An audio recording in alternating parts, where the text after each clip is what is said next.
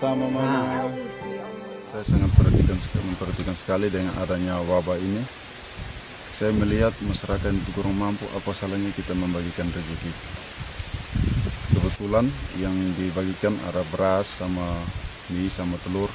Beras juga yang didapatkan oleh jatah saya selama empat bulan. Saya membagikan kepada masyarakat tidak seberapa, tapi seikhlas dari hati saya sendiri.